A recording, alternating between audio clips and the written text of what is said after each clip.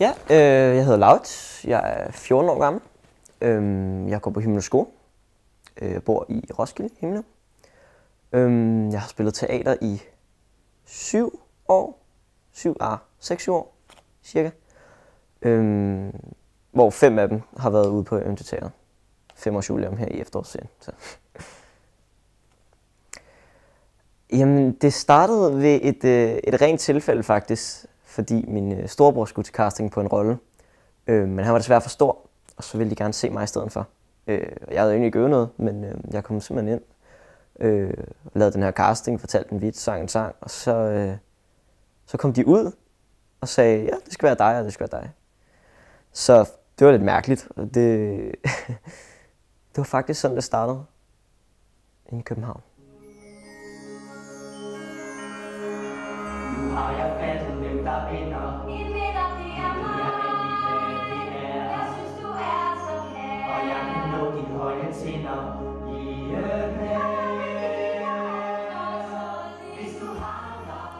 Vi befinder os i glassalen i Tivoli, hvor 14-årige Laurits Skovgaard Andersen fra Roskilde har en af hovedrollerne i musicalen Eventyrteaterets julemusical, som hedder Stjernedrys og Nissekys. Og vi skal interviewe Laurits om, hvordan det er at stå på scenen, og så får vi nogle øh, smagsprøver på forestillingen, som øh, spiller i hele december måned.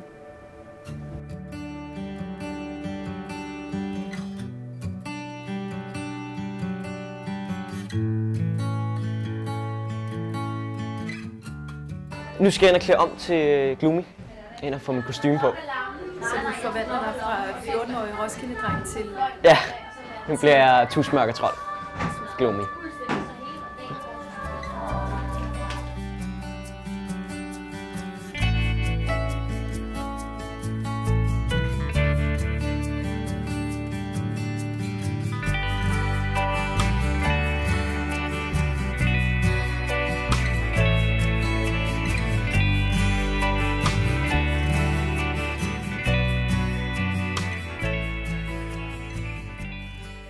Gun, hvor, hvor mange børn er det, I har haft til øh, casting til den her forestilling?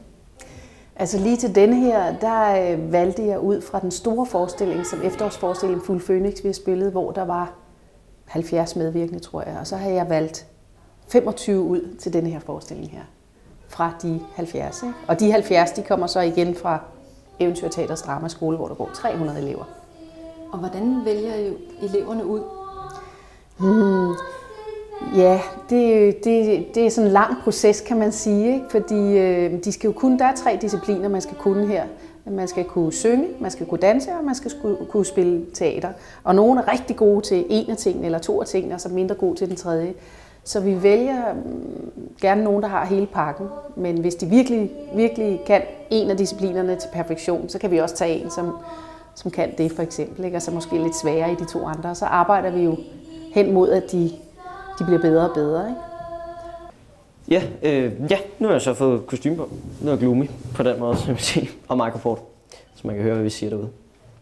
Og øh, hvad mangler der så til, øh, når nu publikum kommer på og forestillingen rigtig Når publikum kommer på, så skal jeg selvfølgelig have sminke i, i hovedet, og øh, jeg skal også have sådan noget på tænderne og sådan nogle lange ører.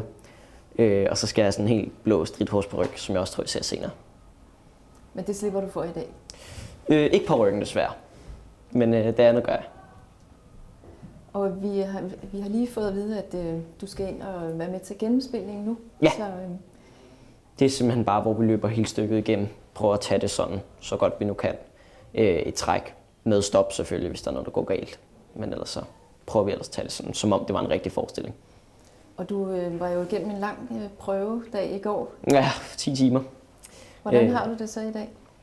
Jamen, øh, jeg har det fint nok nu, men man, man, man er træt om morgenen her. I morges for eksempel, når jeg skulle i skole. Det var, det var hårdt, for at se det mildt. Men øh, vi vil øh, lade dig slippe ind på scenen så. Yes, det vil jeg gøre så. I julemusikalen spiller jeg øh, Gloomy, som er holdlederen for Tusmørketrollene. Som er de sådan, ikke så kloge måske, men sådan de seje eller de cool eller sådan. De trollede, for at sige det mildt. Laurits, han er en del af en meget øh, kendt familie i eventyrteaterkredse, fordi øh, vi har haft, øh, ja vi har faktisk, nej nu er Christian også op, vi har haft Nils, som nu går på skuespillerskolen i Odense, hans storebror, og hans anden storebror, Christian, var også med i efterårsforestillingen. Så øh, det er en musikalsk familie. Øhm, og Laurits, hvad kan Laurits? Altså, han, øhm, han kan modtage instruktion. Han har stor stort talent for drama, altså for at kunne sige, øh, øh, for at lytte til instruktøren og honorere det, jeg beder ham om. Øhm, og, ud, og have udstråling. Det er, det, det er tit noget udefinerbart. Hvad er det, der gør, at man har det? Hvad er det? Det, det er svært at sige, ikke? men det har Laurits. Og øh, hvordan er han sådan at arbejde med? Jamen øh, meget, meget nem. Også fordi han har lavet så meget allerede, han har startet fra han var helt lille, så derfor så, øh, så øh, bliver de jo dygtigere og dygtigere, jo flere produktioner de er med i.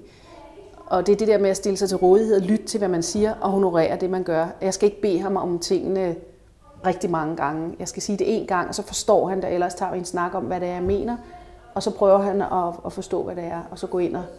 Og, og det gælder om at ikke at være generet på scenen. Han er jo ikke generet. Fordi hvis man står op og putter sig og generet og ikke taler højt, eller rent teknisk gør nogle ting, så, så dur det jo ikke her på scenen, hvor der er tusind mennesker, publikummer, der skal høre, hvad man siger. Spørg selv. Hvad siger dommerne egentlig til alt det her? Øh, vi siger... Øh, der bliver vist ingen jul til jer i år. Hvordan er det at stå på scenen her i glassalen? Det er super fedt. Det er en kæmpe oplevelse, og jeg vil håbe, nogle flere prøver det. Øh, selvfølgelig er det jo ikke alle, der vil synes, det var fedt, men jeg synes, det er vildt fedt. Det er rigtig, rigtig fed følelse. Det giver rigtig meget adrenalin og sådan. Og øh, nu er der jo kun nogle få dage til, øh, til premieren. Ja. Øh, hvordan, hvordan har du det med det? Oh, det bliver spændende. Meget spændende. Nu har vi jo haft, vi har altid kortere tid til at øve til jul, end vi har til efterårsforestillingen, som spiller i øh, efterårsferien. Øhm, så det er selvfølgelig altid, det er mere stresset her til jul, og det er mere sådan, er alt nu på plads, og man har ikke helt så mange gange til at øve det her i glas. Og sådan, så så det, øh, det er spændende, helt sikkert. Og øh, dem, du spiller sammen med, er det nogen, du har spillet sammen med før? Øh, en del af dem ja, en del af dem nej. Jeg har været her i fem år, øhm, så man kan sige, det er ikke så mange, der er blevet hængende fra der jo. Men alligevel et godt stykke, øh, jeg tror, oh, det ved jeg faktisk ikke, det kan jeg ikke til lige nu. Vi er sådan en 3, 4, 5, 6 mennesker, som har været sådan, øh, hvad hedder, øh, hvad hedder, som har været på eventyrteateret i øh, de der fem år, og i virkeligheden har været meget sammen med der. Udvikler der sig så nogle venskaber? Meget, helt klart. Helt klart, helt klart. Øhm, altså, jeg, det, er jo, det er jo sådan et helt andet fællesskab, en helt anden familie herude, øh, end for eksempel derhjemme, altså. Jul til jer i år. Lidt. Ja. Hvad er det? Bare kom afsted. Tak, Lille. 2 minutter og 39 sekunder. Ikke dårligt, når man tager deres højde i betragtning. Og hvad, hvad lærer børnene af at være med i sådan en forestilling her? Øh, rigtig, rigtig mange ting. Altså rigtig mange ting. Øh, de lærer det at stå frem foran en stor forsamling øh, og, og tale højt tydeligt. Sådan nogle helt tekniske ting også. Men også at sælge en vare. og sælge en, øh, øh, spille en rolle, sælge en vare, få folk til at lytte. Og det kan man jo bruge senere i livet, hvad enten man vil være skuespiller eller ej, så kan man bruge det, i, hvis man skal til eksamen, og hvis man skal til jobsamtaler osv. Det er rigtig gode lærepenge, de får her. Og de lærer også at være ydmyge over for, øh, for øh, hinanden og over for, øh, for hele teaterprojektet, kan man sige. Fordi de er jo kun en lille del af en, en, stor, en stor produktion, hvor alle skal gå ind og øh, præstere. Der er ikke nogen, der, selvom nogle roller er større end andre, så, skal, hvis, så har vi brug for alle. Ja. Er det anderledes at arbejde med børn end med voksne? Ja, det er det, fordi øh, jeg synes for det første, de er meget kvikke. de, de er ikke så rustne som os i hjernen. Nej, det ved jeg ikke. Men, men øh, de er selvfølgelig også mere hudløse, de er mere følsomme. Så øh, de har ikke taget så mange slag endnu, så man skal passe på med, hvordan man taler til dem, og Øh, de kan ikke tåle helt det samme. Altså, vi skal være varsomme. Vi ved jo ikke, hvor de lige er i deres udvikling, og det er jo børn, som så bliver teenager, og det er, det er nogle svære år i ens liv, og spændende år. Men vi skal jo tage vare om dem, og man skal tale anderledes til en på, vi har nogen på 10 år for eksempel, og så har vi også en på 20, eller så. De skal jo behandles forskelligt. Og fælles for dem alle sammen er, at det er jo nogle lange øvedage, I har. Ja. Hvad, hvad kræver det her børnene? utrolig disciplin. Utrolig, altså, jeg, altså jeg, vi kunne ikke sætte sådan almindelige børn, som ikke er vant til det, til det her. Det vil vi ikke kræve af. De, de her børn, de er robuste, de har prøvet det før, og de kan klare mosten. Og de ved også godt, at når jeg øh, taler lidt, råber lidt af dem, eller sådan noget, det prøver jeg at lade være med, men samtidig sker det, hold mund, hvis de snakker, ikke? Så, så de retter ind og, op. Der, der, der er meget disciplin her, det skal der være. Og de skal tage ansvar for deres egne kostymer, rekvisitter, selv sidde og sminke sig og så videre. Ikke? Det skal de kunne. De skal, ja. Det modner dem, det her. Og hvad er det så for en belønning, man får, når man står på scenen? Det er enormt svært at forklare, når man ikke øh, har prøvet det. Men altså, jeg er jo skuespiller, så jeg ved, hvad det er, der gjorde, at jeg blev tiltrukket af teatret. At det er adrenalin, det er det kick, man får ud af at stå der og selvom man har nerver på, og samtidig tænker, hvorfor gør jeg det her? Når man så har stået der og bukker for publikum, så tænker man, det var derfor, jeg gjorde det. Og hvad er der særligt ved øh, glassalen her i Tivoli? Der er så meget en helt unik stemning her. Altså, den er øh, ubeskrivelig, der, der er atmosfære. Der er så mange store personligheder, der har spillet herinde, øh, og det kan man mærke. Man kan simpelthen mærke det i væggene, i rummet. Og når det er jul, og folk kommer ind i Tivoli og går ind i salen, så er det ren magi.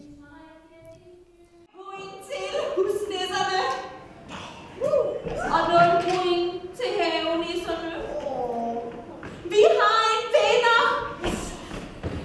Ingen fodbold, noget fidus. Vores pokal er snart i hus. Hey, hey, hey!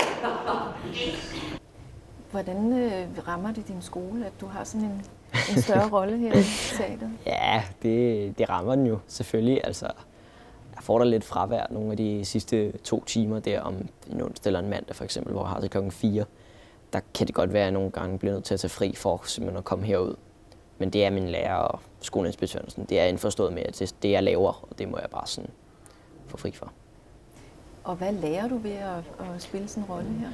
Ja, det er en hel masse. Øhm, min rolle i, det her, i den her forestilling, juleforestilling, har enormt meget status.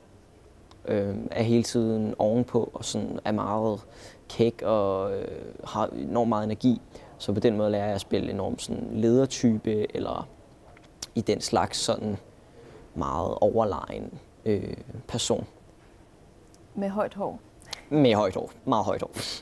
Har du sådan en yndlingsreplik i stykket? Ah, det ved jeg ikke. Det skal nok være, når jeg sætter øh, Nox på plads. Ro på Nox? Ja. Det er fordi, han, øh, han, er, han er jo meget ældre end mig i virkeligheden. Så det er meget sjovt at sætte sådan en, der er lidt ældre på, på plads hele tiden. Og sådan. Sig mig, hvad foregår der her?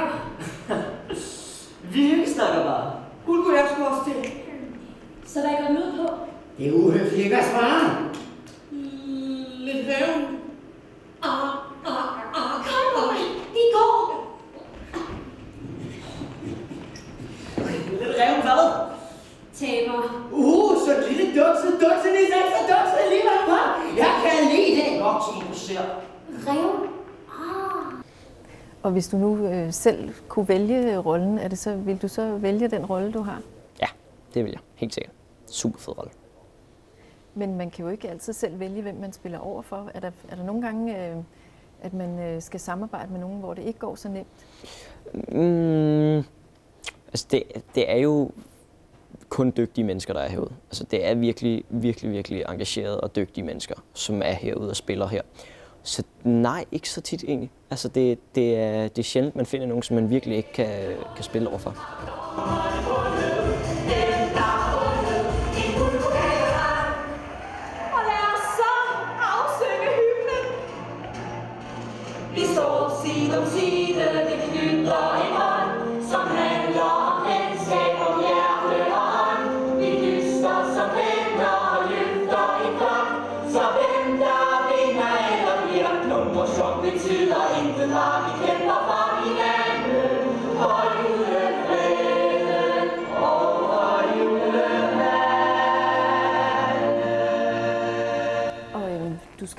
Kunne øh, danse og synge og spille skuespil. Ja.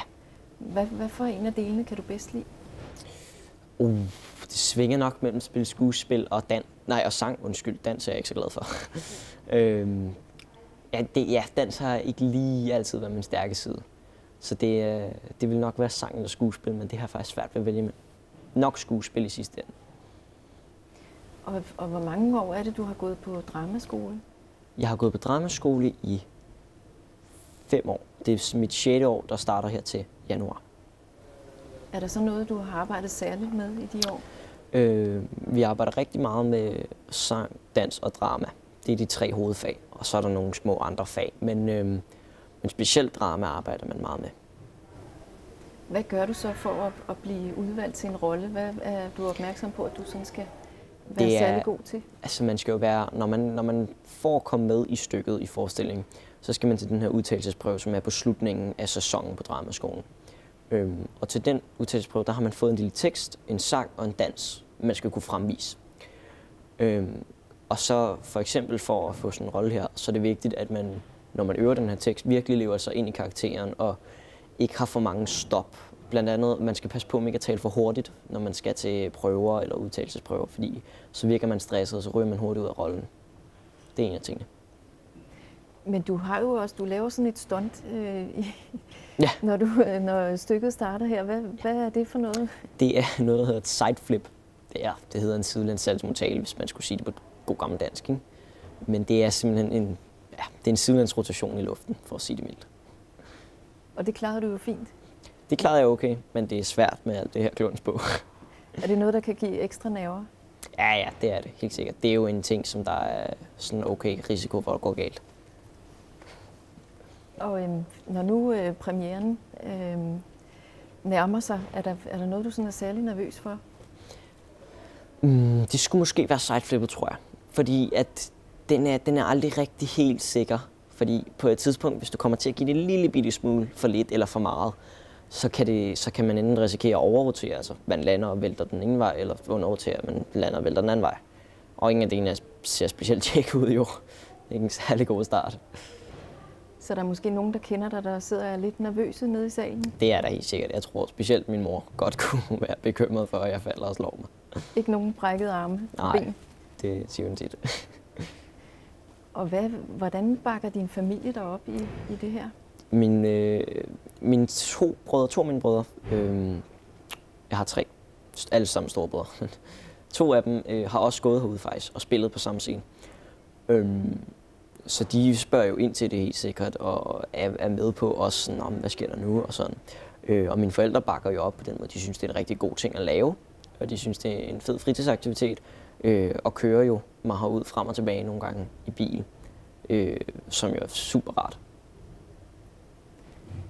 Og hvad så med skolen? Er der noget, du øh, forsømmer der? Altså, ja, der er jo nogle fag, der ryger hister her, men altså, det må jeg jo bare tage med.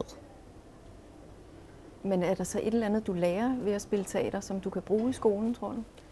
Øh, man lærer rigtig meget koncentration, øh, når man spiller teater, fordi det nytter ikke noget at gå og være ukoncentreret, når man er på scenen. Og sådan. Man bliver nødt til hele tiden at være i fokus på det, man laver. Øh, og det føler jeg helt klart, at jeg kan bruge i skolen og andre steder også mange gange. Kunne du tænke dig at blive skuespiller, når du bliver voksen? Det er der mange, der spørger om, men jeg ved det faktisk ikke. Øhm, jeg synes, der er rigtig meget, der er fedt. Jeg synes specielt skuespil er fedt. Jeg synes også, sang er fedt. Øhm, men der er også en masse andre ting, jeg sikkert godt kunne lide at lave. Altså, jeg har ikke fundet, jeg har ikke fundet ud af endnu, hvad jeg tænker, det her, det skal jeg bare være. Hvor jeg kender folk, øh, også herude fra Teater for eksempel, øh, på min alder, som jo ved, det er det, de vil være. De vil være skuespillere. Og det sted er jeg slet ikke nået til nu. Du er også kun 14 år. Det er jo det. Men, øh, men hvad får du ud af at være med i sådan et stykke her? Mm, Jeg får en hel masse gode venner af det. En, øh, altså, det er jo et, et super godt fællesskab og øh, hvad hedder, nærmest lille familie, man har herude. Jo. Øhm, og så får jeg gratis indgang til Tivoli. og så lærer jeg en hel masse. Men prøverne varer jo i flere timer. Hvad, er der overhovedet noget fritid tilbage? Nej, altså det er... Det, nogle gange har vi fri en fredag, øhm, fordi der er- det gider de ikke lægge prøver. Men her i julen, der er der også nogle gange prøver fredag. Så det er sådan lidt, altså jeg tror, jeg havde to uger, hvor jeg var herude 14 gange på Teateret, så altså, det er, det er hårdt. Det er hårdt arbejde, men Ja. er det også sjovt? Det er super sjovt, og det går stærkt. Tiden går stærkt, når man er herude. Så måske så går det lidt ud over nattesøvnen lige for Det er tiden. måske mere hen i den retning i hvert fald. Jeres udsigter til at vinde, de var ikke for gode, vel? Hvorfor skulle jeg fortælle dig om det med guldmurten, hvis du meget havde gjort det? Ja, og hvad med peberet Øvaldens pebernøddej? Ja, hvad med peberet i vores pebernøddej? Det hører virkelig dumt, hvis de sørger for at tabe deres favoritdisciplin, ikke glue. Jo, sorry, I har ret. Og nu er der jo kun nogle få dage til premieren. Hvordan øh, er der nerver på? Ja, altså, men kun gode naver, Ikke sådan nogen, fordi vi er, vi er ovenpå. Vi er der, hvor vi siger, ja, vi kan godt snart spille. Ikke? Nu skal vi have teknikken, vi skal have lys og lyd og så videre på plads. Vi var nødt til at lave øh, slutningen om her, fordi jeg havde, jeg havde, da jeg skrev stykket, som jeg skrev i sommer, noget med en bombe. Og det, øh, det- det fandt jeg ud af, nej, i disse tider, så var det ikke så rart. Øh, selvom det bare var sådan en Anders Sand bombe, vi havde, og det var ikke i orden. Så, så der var vi nødt til at, og det fandt vi ud af her for kort tid siden, det er vi nødt til at skrive om. Og de skulle lære helt nye replikker omkring det og lave en helt ny slutning. Men de er hurtige og kvikke, de unge mennesker, så det klarede vi. Kunne du tænke dig at blive skuespiller, når du bliver voksen? Det er der mange, der spørger om, men jeg ved det faktisk ikke. Øhm, jeg synes, der er rigtig meget, der er fedt. Jeg synes specielt skuespil er fedt. Jeg synes også, sang er fedt. Øhm, men der er også en masse andre ting, jeg sikkert godt kunne lide at lave. Altså, jeg har ikke fundet, jeg har ikke fundet ud af endnu, hvad jeg tænker, det her, det skal jeg bare være. Hvor jeg kender folk, øh, også herude fra Teater for eksempel, øh, på min alder, som jo ved, det er det, de vil være. De vil være skuespillere. Og det sted er jeg slet ikke nået til nu. Du er også kun 14 år. Det er jo det. Men, øh, men hvad får du ud af at være med i sådan et stykke her? Mm, Jeg får en hel masse gode venner af det. En, øh, altså, det er jo et, et super godt fællesskab og øh, hvad hedder, en nærmest lille familie, man har herude. Jo. Øhm, og så får jeg gratis indgang til Tivoli. og så lærer jeg en hel masse. Men prøverne varer jo i flere timer. Hvad, er der overhovedet noget fritid tilbage? Nej, altså det er... Det, nogle gange har vi fri en fredag, øhm, fordi der er, gider de ikke lægge prøver. Men her i julen, der er der også nogle gange prøver fredag. Så det er sådan lidt... Altså jeg tror, jeg havde to uger, hvor jeg var herude 14 gange på Teateret, så altså... Det er, det er hårdt. Det er hårdt arbejde, men Ja. er det også sjovt? Det er super sjovt. Og det går stærkt. Tiden går stærkt, når man er herude. Så måske så går det lidt ud over nattesøvnen lige for Det er tiden. måske mere hen i den retning i hvert fald.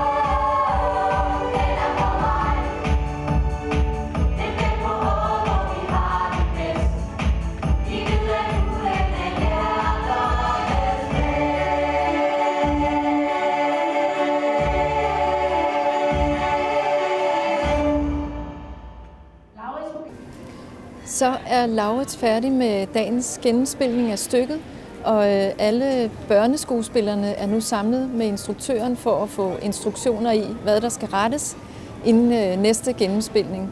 Så øh, der venter en masse prøver og rettelser og gennemspilninger forude, inden der kommer publikum på. Og øhm, i mellemtiden så kan man jo gå en tur i Tivoli og nyde juleudstillingen.